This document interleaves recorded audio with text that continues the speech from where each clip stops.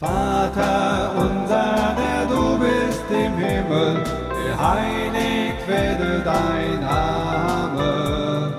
Dein Reich komme, dein Wille geschehe, wie im Himmel so auf Erden. Unser tägliches Brot gib uns heute und vergib uns unsere Schuld,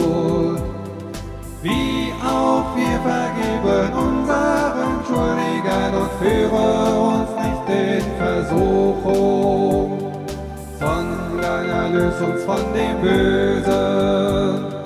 Vater unser, der du bist im Himmel, geheiligt werde dein Name. Dein Reich komme, dein Wille geschehe, wie im Himmel so auf Erden. Denn dein ist das Reich